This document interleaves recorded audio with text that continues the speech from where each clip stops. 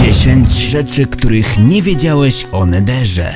Jeżeli lubisz oglądać ciekawostki i chcesz ich więcej, zostaw kciuka w górę i subskrypcję. Minecraftowe światy są oznaczone cyframi. Minus 1 to Nether, 0 to zwykły świat, a 1 to kres.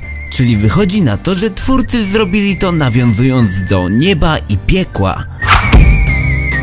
Nether w starym Minecrafcie w wersji InDev wyglądał o wiele lepiej. Był to świat z oceanem lawy i ciemnymi czerwonymi chmurami. Dodatkowo wszędzie, oprócz obok zbiorników z lawą, było ciemno.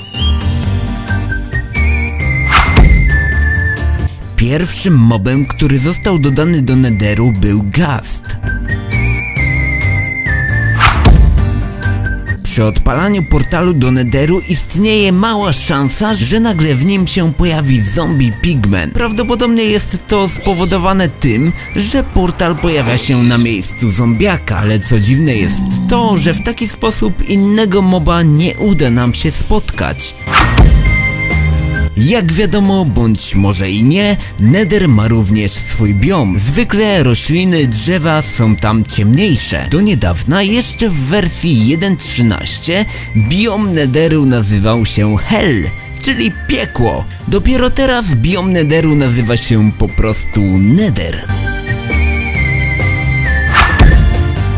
Jeżeli się dobrze przypatrzymy, to zauważymy, że gasty płaczą. Nie wiem jak wy, ale ja na to nigdy wcześniej nie zwróciłem uwagi. Zapewne dlatego wydają takie dźwięki. Na dodatek w końcu po ich zabiciu możemy otrzymać łzę gasta. Gast to taki duch, prawie tak samo się pisze jak ghost, czyli po prostu duch po angielsku. Być może gasty to są po prostu dusze, które muszą odbywać karę w piekle. Zombie Pigmen, mimo że nazywa się zombie, to bardziej przypomina szkieleto pigmena. Zgadzacie się ze mną? Portal do Netheru możemy odpalić za pomocą dispensera, zapalniczki i dźwigni. W taki sposób można zrobić półautomatyczne odpalanie.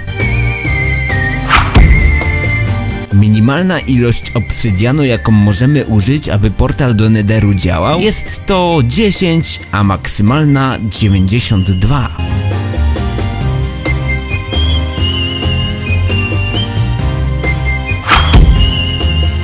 Gdy na trybie dla pojedynczego gracza wejdziesz do Netheru, czas w normalnym świecie się zatrzymuje. Oczywiście w multiplayer to nie działa. To już by było na tyle, dziękuję za oglądanie, nie zapomnij zostawić kciuka w górę i zapraszam do kolejnych materiałów.